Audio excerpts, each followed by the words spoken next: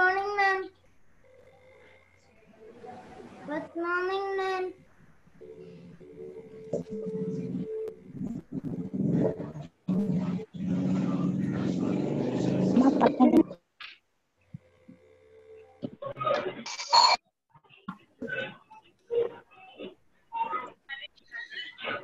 Morning, ma'am.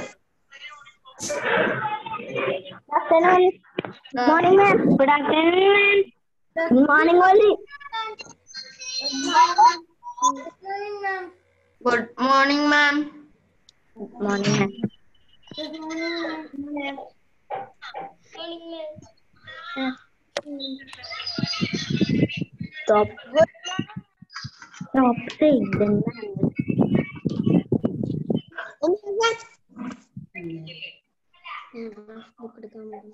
Ma'am, I cannot see you. Uh, good morning to all of you.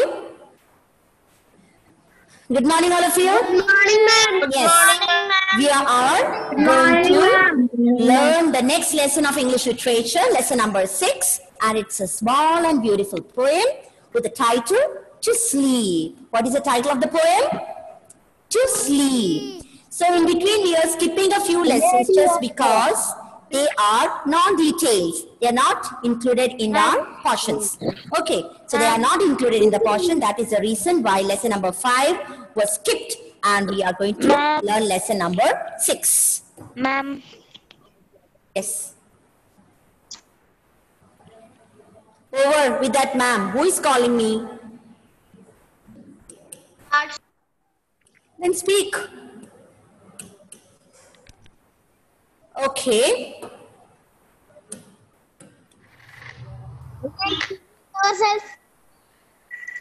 So be ready with your uh, notebook, uh, rough book also.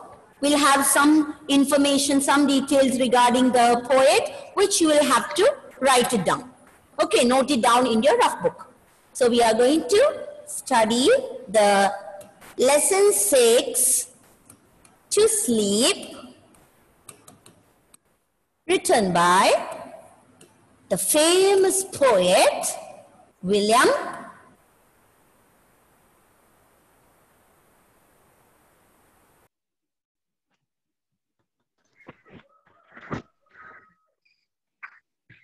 Your voice is cracking.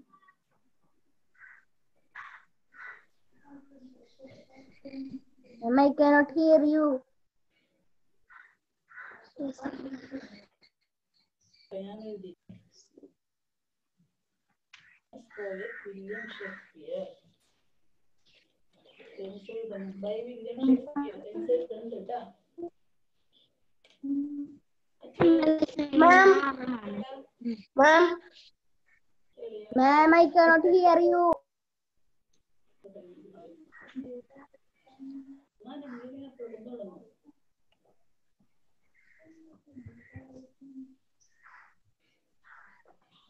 Ma'am, Ma'am, I cannot hear you. Ma'am, I cannot hear you. Ma'am, I cannot hear you. Ma'am, I cannot hear you. cannot hear you. Ma'am, Ma'am, I cannot hear you. has oh network. Ma'am's networks are gone. Mm-hmm. Okay. Ma'am, I can't see you, ma'am. Ma'am, I can't see you. Ma'am, I Ma'am, I cannot see you. very good. Ma'am, I think ma'am's internet, ma'am's network is ma'am's network issue. Ma'am has network issue. Okay. I don't know. You look in participant.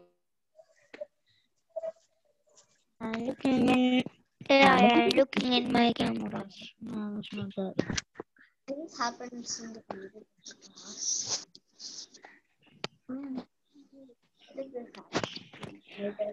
Last one for Hanan. Amr Fayasan.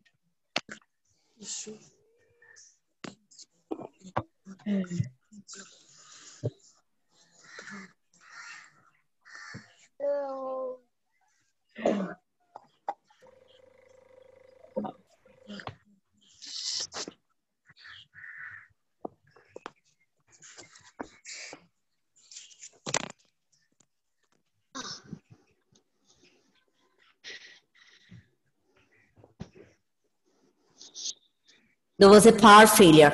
Okay, so we are back again. So what was I talking about? It's lesson number six, page number 35.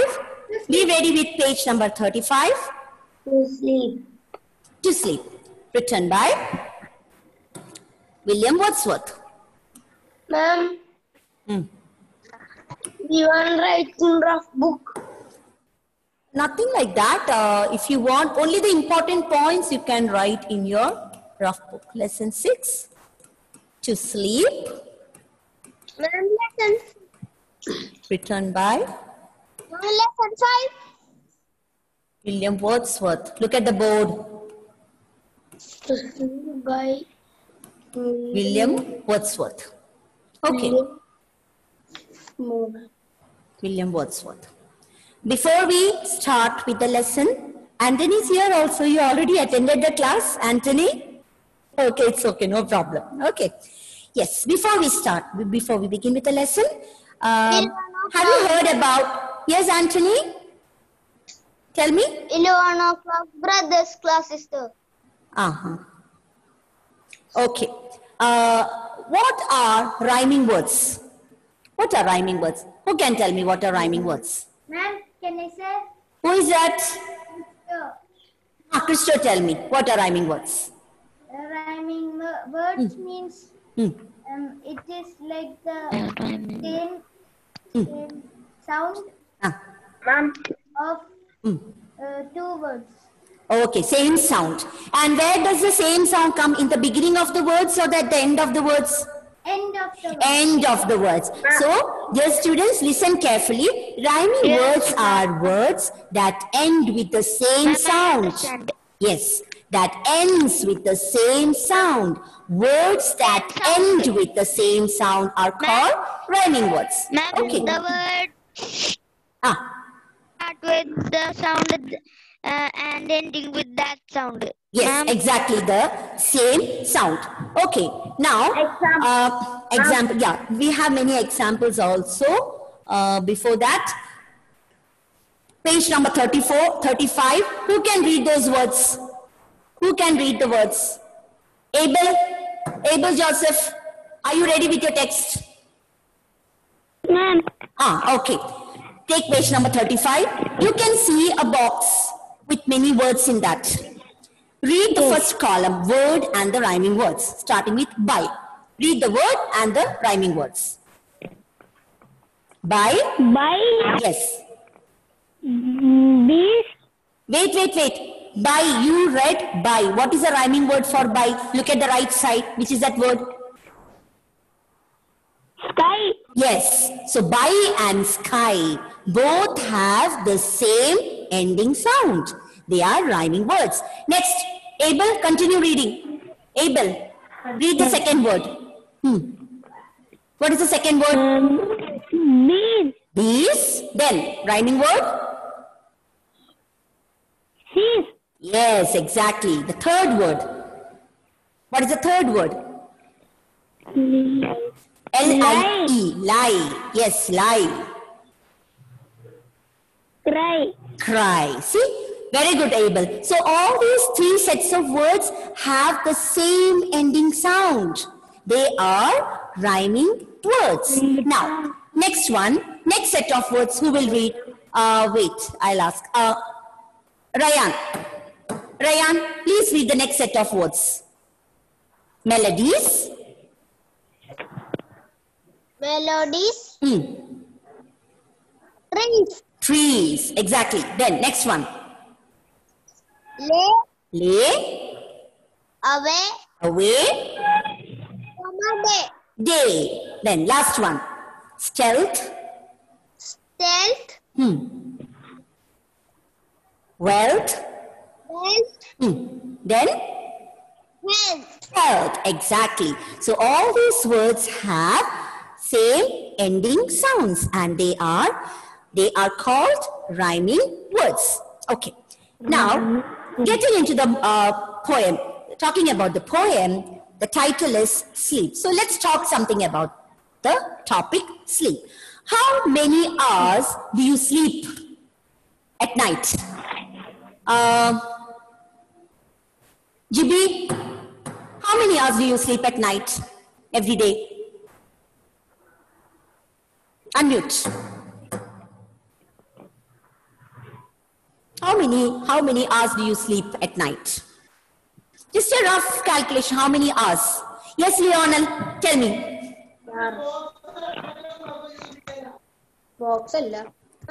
Ma'am, uh, eight hours. Ah. How many hours, Lionel? Eight hours. Eight hours. Very good. Okay. What about you, Niranjana? You also sleep for eight hours. Eight hours. Eight hours. Okay, I got it.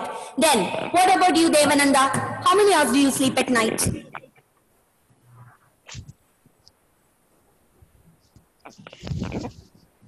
Devananda, how many hours do you sleep at night?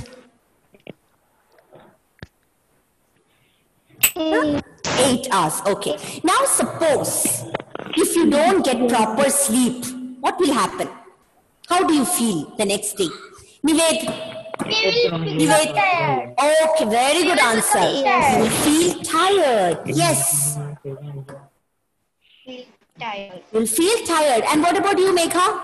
How will you feel? Um, Huh. I feel like to sleep again. Sleep again. You will feel like sleeping again. You will not feel like getting up from the bed, right? Anybody else? How do you feel when you don't get proper sleep, when you're not able to sleep at night at all? Hmm? How do you feel? Devadat? Devadat? Uh, I feel very, Huh. very Very tired and tired. Ah. and I didn't. I like uh, uh this. Uh, I cannot uh, walk Ah. properly. Okay, very good. Let it come out. Whatever you feel like saying, you have to say. Okay, very good. You feel he, he says that he won't be able to uh, walk properly. And yes, Niranjana, what about you? I'll get angry and get Wow, and that's to sleep. Okay. You will get irritated, right? When your mom comes and co- comes and call, you will feel very irritated. You'll get angry, and even uh, Randir wants to say something. Where is uh, Randir? Wait, wait, wait, uh, wait a moment. I'll find him. Find him out. Randir. Yes, Randir. Unmute. Ma'am, our eyes also become Ah. Ah. one black color. Yes, you will form the dark circles or your eyes will look very puffy, right? You're puffy. Sometimes you will feel that your eyes have become red. And in short, the entire day, the next day will be a total mess. It will be horrible, right, Catherine? Yes?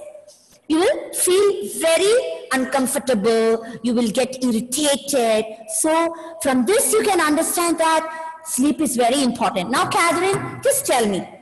Catherine, please unmute. Catherine, yeah. Uh, suppose you're lying on the bed without getting getting proper sleep. You're not able to sleep. Normally, what do you think? What do you think about? Ma'am, when I don't get uh, that much sleep, I just lie on my bed uh, Uh-huh. without any sleep. Huh. And then uh, one, then it will be like so late when I sleep.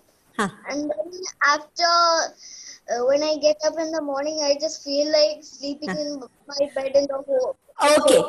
Okay, Catherine. Suppose when you're lying on the bed uh, without getting the sleep, what are the different thoughts that come to your mind?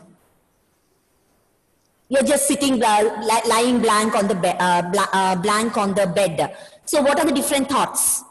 What are the different thinking? Uh, like, what do you think about? I think about many things. Like, Like what? Example. Ma'am, example, like Ivana, see, stop sending uh, messages in the chat box. Unless and until it is very important. I don't want anybody sending messages. Or I will uh, uh, deactivate from here. Don't do that. I don't want anybody using the chat box unnecessarily. I had already put that in the message. Unless and until if it is very important, you want to convey some very important message. Like, ma'am, I'm not able to hear you or I'm not able to uh, uh, unmute myself. Only emergency messages should be put in the chat box. I don't want to say here, uh, see any sort of good morning, hi, ma'am, nothing. No casual messages should be put in the chat box. Is that clear to all of you? Yes, okay. ma'am. Yes, Catherine, tell me. Actually, one day uh, when I was chatting with my friend, uh, she uh, told me like there was one uh, like scary thing Okay. photo she saw on Google and Okay. she told me to uh, see it if I want to. So I looked at it Okay. Huh. the name was called Momo. And when I I first thought I it was a some type of uh, creepy cow or Huh. something. It sounded like one. Okay. Okay. But then when I saw the photo, I got creeped out. Okay. it was a creepy night, right? You had a white night, you couldn't sleep at all. And uh, see, you think about a lot of things, different things till you feel uh, sleepy. There is some mental exercise also. You might have heard your grandmother or your parents telling that count from 1 to 100 or from 100 to like for ascending order and descending order. Then finally you will fall asleep. That is a sort of uh, mental exercise to fall into sleep. And has anyone heard about counting the sheep? Counting the sheep? Yes? Yes? Okay, you are, yes, Ahyan, Ahyan. Tell me, what is about, uh, what do you mean by counting of the sheep? Ahyan, counting the sheep. Huh? Counting the sheep. Many of them are raising their hand. Huh? Ahyan, where are you?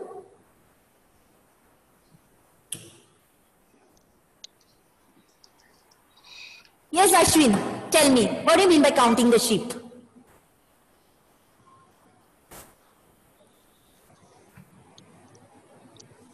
Not able to hear you. Not able to hear you, Ashwin. Unmute and speak through the microphone. Hmm. Ah, somebody's asking me page number. No answer for that. No answer for that page number. Yes. Ma'am, I, Hmm, tell me. Tell me. I think there is some network issue. Oh, yeah. Tell me, tell me. ma'am, I can say the meaning of counting the sheep. Okay. You can, you can tell them. Tell me what is counting the sheep. There will be so many sheep, and Ah. we can't Ah. count that properly Uh-huh. Uh-huh, and we uh-huh. fall asleep. Okay, okay. Not exactly like that. You just imagine a field full of sheep. And remember, there is no word called sheeps. The plural of sheep is sheep itself without S. Okay. So you will imagine, you can imagine or visualize many sheep in an open field and you have to also imagine a fence a barricade like thing. And just visualize the sheep jumping over the fence one by one and you're counting them. One two three four like that. You count the sheep jumping over the fence and finally you will fall asleep. So this is a sort of mental exercise practiced by many people from different cultures obviously in the foreign countries if you just check in the youtube or google you will come to you. You can see the videos also counting the sheep. Even in one of the uh, mr bean mr bean uh, episode uh, i have seen counting the sheep. Mr bean is struggling. He's not able to sleep. And he is keeping a picture of the sheep uh, a flock of sheep and counting. And finally he's also taking a calculator to count it. And finally he will fall asleep. It's a very funny video. Okay. So that's it here in this poem, ah, so we were talking about the importance of sleep. And sleep actually is a good relaxation for the body. It calms your body, it reduces your body temperature, and you know, you're closing your eyes while sleeping. So your eye movement, the movement of the eyes is stopped. Your brain waves, your muscles, your heart, everything goes to a relaxation mode. So what happens the next morning when you wake up? You wake up very energetically. You wake up with full energy. Your mind and body, everything will be fresh for a good start, for a new start. So a good sleep is very important. And as we discussed, if you cannot get good sleep, and especially even for a single day or single night, you're not able to sleep, the next day will be horrible the next day, the morning, the very morning you wake up, the very moment you wake up, you will feel giddy, you will uh, develop a sort of headache, you will have puffy eyes, you will feel very tired, you will get irritated, and the entire day will get spoiled. So just imagine if you don't get proper sleep for continuous two or three nights, how, how will be the days? It will be very difficult, right? So this is the situation in the poem. The poet, William Wordsworth, is not able to get proper sleep for many nights. And he yearns, he longs for proper sleep, and he also describes how important sleep is for the mind and for the body. Okay. So before that, I hope I showed you this picture. Are you able to see the picture of William Wordsworth? Yes, ma'am. This is a famous poet, Yes, ma'am. William Wordsworth. He's very, very famous. He was born in London. He was born in London and I'll give you more information about William Wordsworth. Born in the year, you can note this down, 1770 and died in the year 1850. Okay, he was born in London. London. He is popularly known as the nature's poet. He is known as the nature's poet because he has written many poems on nature, on the beauty of nature. He explains the beauty of nature in a beautiful way, in a wonderful way in all his poems. Okay, and he uses a very simple language. His language is very simple, used in the poem so that every reader can read the poems, understand, and enjoy. And he used very sincere words, heart touching words. So his poems are filled with sincere words in a very simple language. He is a very famous, one of the most famous English poets of the 18th century, born in the year 1770 in London, and he passed away at the age of 80 in the year 1850. He is popularly known as the nature's poet. The specialty of his poem is they are written in simple language with very sincere words. Okay, this is all about the poet William Wordsworth. Now,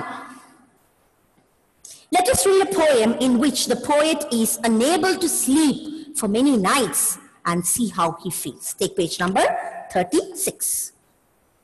Now, dear students, count the number of lines. You can see the poem, it's not a very lengthy poem. Just count the number of lines and tell me how many lines does this poem has. How many lines does this poem have? Yes, Rishi, tell me. Unmute, unmute and tell me. Ma'am, Yes, ma'am, for- 14, exactly. Yes, yes, yes. Correct. Answer is 14. 14. So, this poem with 14 lines, there is a special name for Yes, such poems with uh, there is a special name for poems having 14 lines. Ma'am, it's called, lines. Ma'am, it's called that sonnets. poem has 14 lines. Yes, 14 lines. Okay, such poems, no, it's 14. This poem has 14 lines, and the poems having 14 lines with a particular rhythm, rhythmic pattern, they are called sonnets. What are they called? It's called a sonnet. Sonnet. Yes. Sonnets have 14 lines, and they have got a particular rhyming pattern, which we'll be discussing in the next class. You know what are rhyming Excuse me, words? ma'am. Yes? um, is the so- T sound silent? No, dear. It's sonnets. Yes, ma'am. It's sonnet. Okay, I'll check it once again and let you know. Anyway, very good uh, doubt. I have been uh, uh, pronouncing it as sonnet and I've heard it as sonnet. Let me check on the pronunciation once again. Hmm?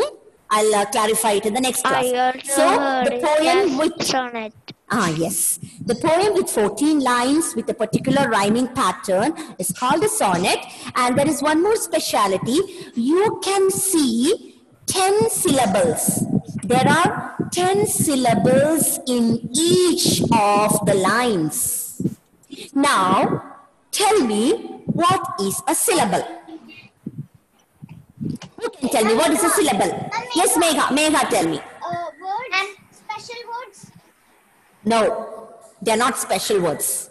What are syllables? I'll tell you, I'll give you an example. We'll take, we will take a common example, television.